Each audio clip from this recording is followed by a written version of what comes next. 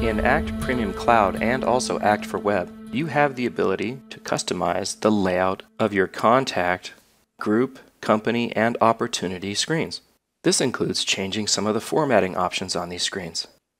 If I look at this contact record and I go to their Personal Info tab, I have added a new field called Age to this screen. As you can see, the age font formatting doesn't match up with the rest of the screen, so I want to change that. To do this, we'll go to Tools, Design Layouts, and because this is a contact record, I'll choose Contact. I'm going to maximize this window. This opens up the basic contact layout screen, and I'll click on the Personal Info tab. You can see here that age is a little smaller and also gray where everything else is black.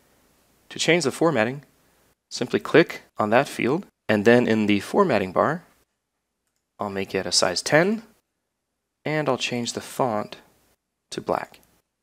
I can do the same thing for any text in the fields as well.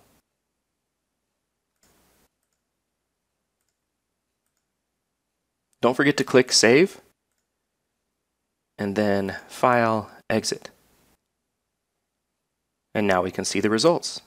Just like that, you can use the formatting bar to change fonts, colors, justification, and more inside Act for Web and Act Premium Cloud.